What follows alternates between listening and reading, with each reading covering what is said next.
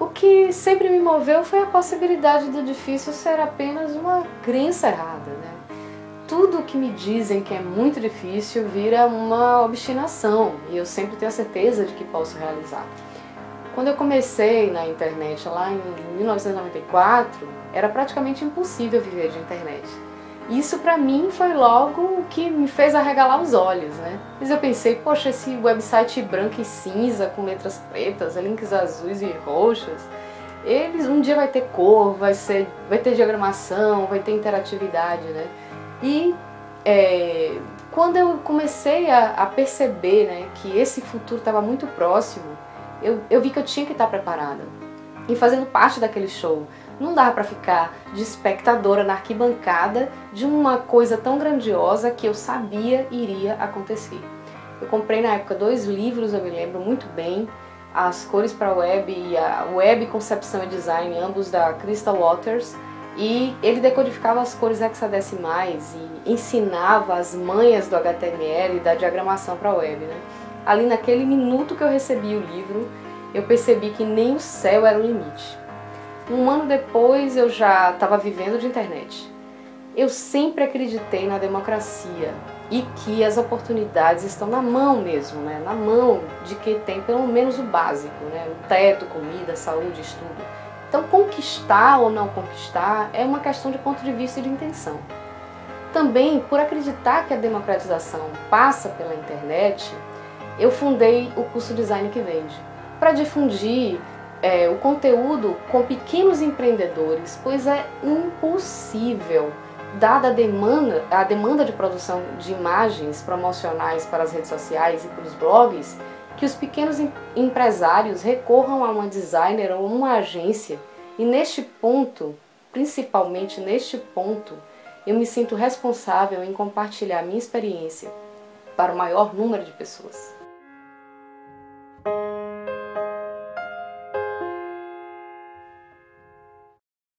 O povo angolano me acolheu com muito amor, né? Isso permanece em mim até hoje. Tudo que vivemos sempre nos ensina algo. Mas ali o curso foi intensivo, principalmente sobre sinergia, viver a dor do outro. É, era algo que eu fazia da hora que eu acordava até a hora de dormir. Inicialmente não teve dia, dias fáceis apenas menos difíceis, né? Até que por fim a gente se acostuma e até começa a agradecer. O que é um mês sem luz, sem água na torneira, quando você sabe que a maior parte da população não tem qualquer necessidade básica atendida o ano inteiro. Eu estava vivendo minha vida, vendo as cores e os contrastes da pobreza, enquanto a maioria dos angolanos fortes sobreviviam naquelas condições, não se sabe como. Então em Angola eu vi as coisas por um outro ângulo, que me fizeram transmutar muitos valores. E foi lá que tudo mudou. Eu sentia que o meu trabalho era completamente irrelevante. Imagine você, design. Design para quem tem fome. Qual a importância disso? Mas daí você reflete e vê que nada tem de relevante. A população de Angola parece, precisa de tudo e tem um poder aquisitivo baixíssimo, mas ainda assim é uma população potencialmente consumidora. Chegamos lá com aquela teoria de que sabemos fazer um design bonito e depois você vai lá vender cartão de recarga para celular para quem tem fome, não sabe ler e é este o público que representa a maior parte da população. A coisa muda, muda muito de figura.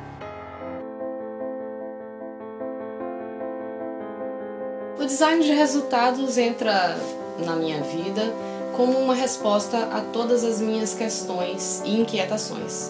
Eu comecei a me sentir omissa às vontades do cliente e egoísta e imatura por não confrontá-lo com as necessidades do seu público.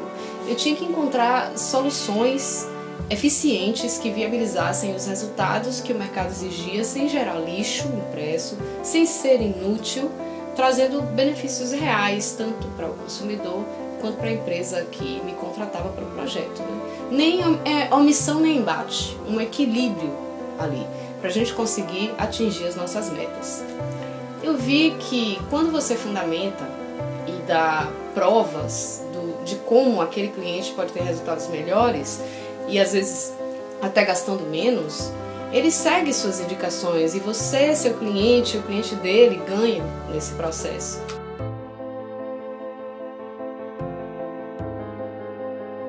Não, não é um design manipulador.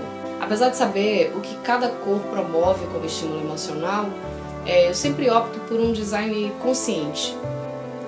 De fato, é impossível vender sem emocionar. Porque o ato da compra está diretamente ligado às emoções e justamente por isso que sentimentos como empatia, reciprocidade, sinergia vendem tanto, né? Mas a, como, como a gente pode então né, usar o design persuasivo é, para vender mais?